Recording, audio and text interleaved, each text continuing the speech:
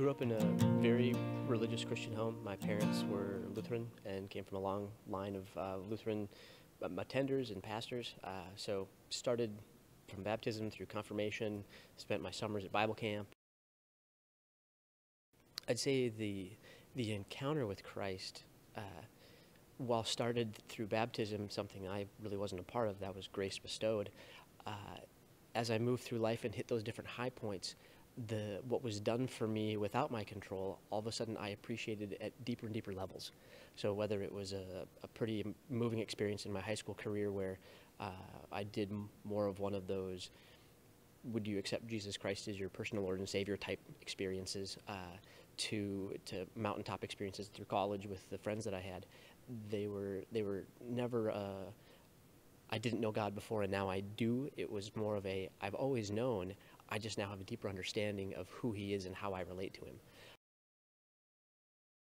My first real experience of, of seeing the Catholic Church from the inside and getting that truer perspective was through my, my relationship with my wife and her family because they had been lifelong Catholics, very devout and spiritual. And through the dating period for Carrie and I, and then after, into marriage and beyond marriage of then 16 years, deep conversations that would be had with myself and Carrie's mom, who uh, ultimately became my sponsor.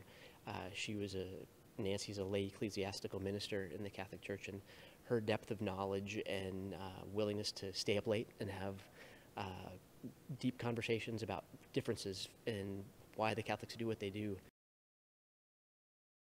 There wasn't really a specific click, but there was maybe a series of clicks.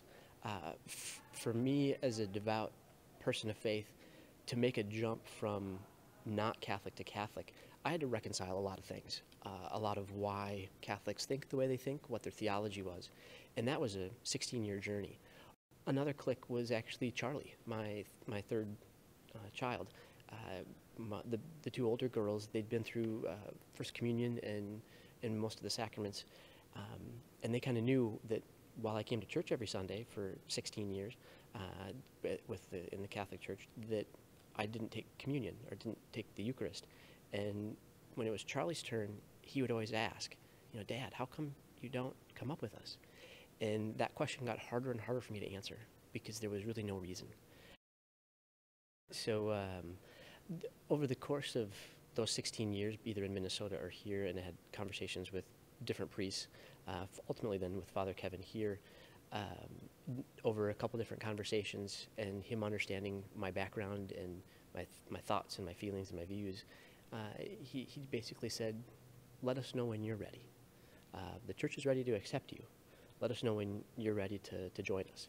And uh, it was actually Christmas season 2015 where Carrie's parents happened to be uh, coming into town uh, for the holiday and I asked Nancy if she'd be willing to be my sponsor and uh, she said yes, and uh, the they had the time during the service to be able to, to do that, so it just happened during the holiday season of 2015. Favorite Bible verse would probably be Acts 1.8, uh, a portion of it. And you will be my witnesses in Jerusalem, Judea, Samaria, and the ends of the earth. And for me, that becomes important because as, as witnesses, we need to know the head of our faith and the heart of our faith. And uh, the geography lesson that is given from Jerusalem, Judea, Samaria, the ends of the earth, Jerusalem is Sammamish. Judea is state of Washington. Uh, Samaria, United States, ends of the earth, the globe. And I think we're called to figure out how can we witness in each of those geographies from not only adults in the faith, but as we work with kids. And I, I get excited to work with the, the youth of the church to figure out how can we deliver to them an experience where they can be witnesses